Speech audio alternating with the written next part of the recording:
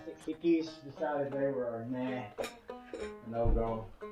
But I got some handles here that I could put on that would, uh, you know, I could stick a one by behind the handle, a little temporary thing if I wanted to. I'm gonna, uh, I'm gonna uh, try that.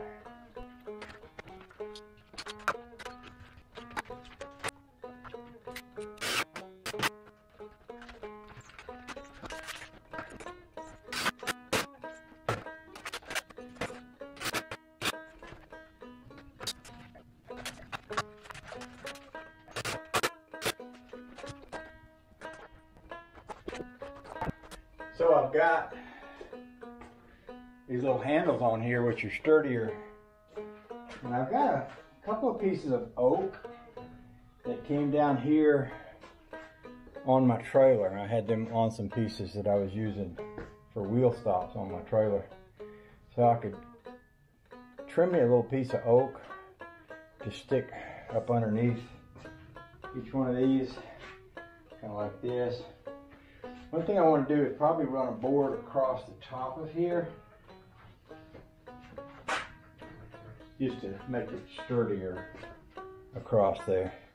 And I noticed that I've lost my, you know, I had a rubber pad on here and uh, it must have fell off and be back here in the yard somewhere, so I go look for it. I think I'm gonna go drink a glass of iced tea and consider this and then uh, maybe come back to it. Love y'all.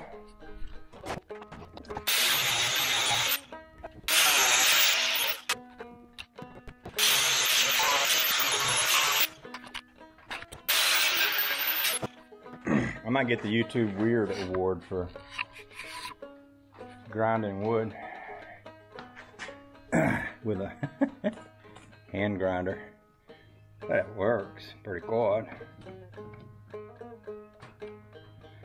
Hmm. Hmm. Hmm. Hmm.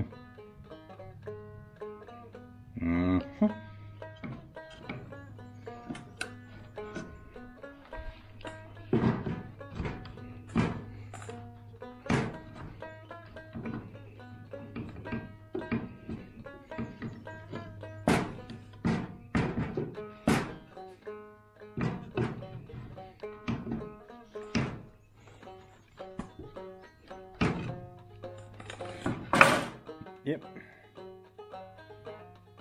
I Think I'll do another one.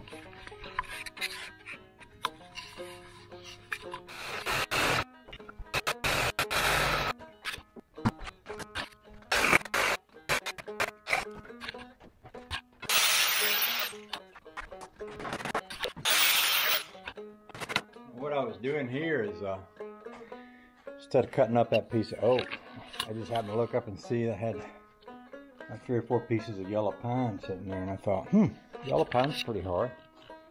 And just happened to have four pieces of about that size, and with a little trim work, it kind of fit in there pretty snug. Uh, I'm I'm trimming on them with a grinding blade, but I've got some regular wood sanding blades sitting here. It would work better. So I might, uh, I might stick a wood sanding blade on here and do a little fine trimming to get that to fit down in there. Kind of, I want it to go in there and be kind of snug and then be easily removable. These kind of blades right here is like a scalloped sanding disc, like little pieces of sandpaper. Those work pretty good for wood. I think I'll put that on and then you know just take a little bit of the edge off right in here and uh, do some more of them. Oh the joy I kind of like that. I'll do another one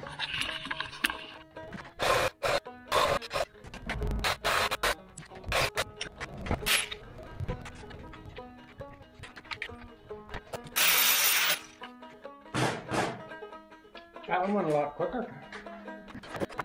Do another one.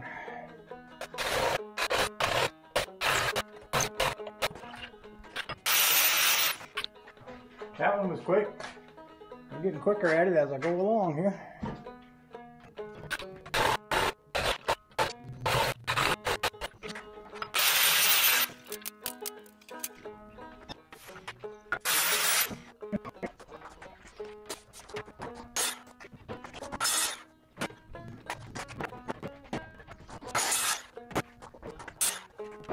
I like it.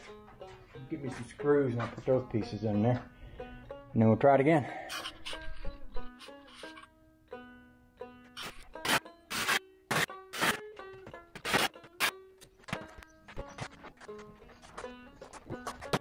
Guess we'll give that a try. This might be a good time to quit for today.